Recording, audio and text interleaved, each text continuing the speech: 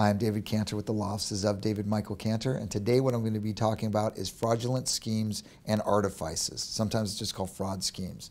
In Arizona, a person can be charged with fraud schemes if they knowingly obtain a benefit through a scheme or artifice by means of falsities or material omissions. And this includes honest services fraud. What's that mean? It means you get paid and you've, you've basically stolen somebody's money. You've lied to them or you've left out a fact. Um, the punishment for true fraud schemes can be probation with anywhere from zero days in jail up to a year in jail or prison of three and a half to 12.5 years. Now, if the fraud involves a benefit that was received of $100,000 or more, by statute, there can be no probation. That means it has to be three to 12.5 years in prison. Very serious charge. Now, the defenses. One, there was no fraud.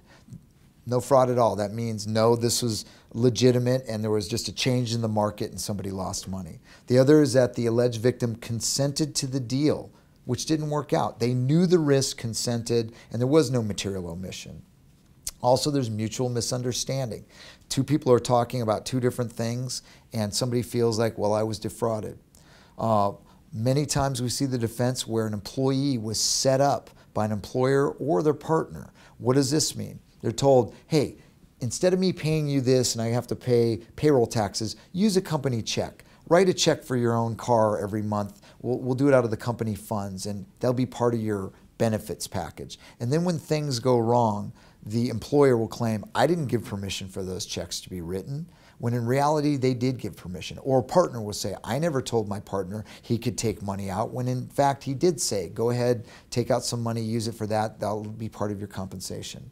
Now, many times we resolve these types of cases with a civil settlement. That means we get in there and negotiate an amount of money with a payment plan. We can then go to the detectives and say, wait a second, don't charge this person. We've resolved this. It's really a civil case. Or even after they're charged, we're saying, to the uh, prosecution, this is not a true crime, this is a civil case. In fact, we have a civil release and the alleged victim has been compensated and they no longer wish to seek nor aid in prosecution. Still up to the state whether they dismiss, but it goes a long way. We've had lots of success on these types of cases. You can go to our website and check out our victories section.